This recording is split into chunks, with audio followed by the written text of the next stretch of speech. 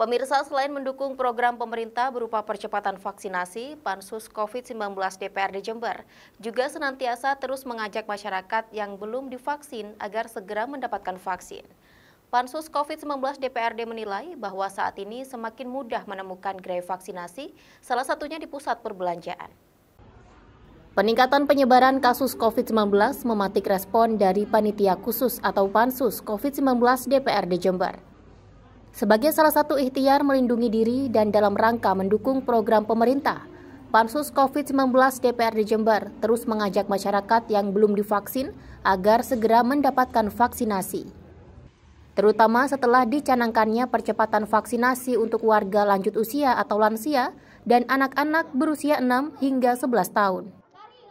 Selain itu, Pansus COVID-19 DPRD Jember menilai bahwa mendapatkan vaksin saat ini semakin mudah dengan adanya vaksinasi door to door dan dibukanya gerai vaksinasi di pusat perbelanjaan.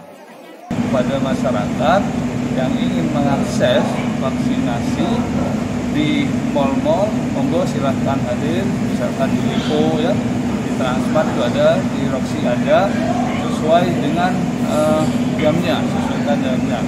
Kalau di Lipo, pengetahuan kami itu jam 7 malam sampai dengan jam 9 hampir rata-rata semua pelayanan vaksinasi terutama di mall dilakukan pada jam malam ataupun jam kerja. Sementara untuk vaksinasi di tingkat puskesmas masih terus berlangsung.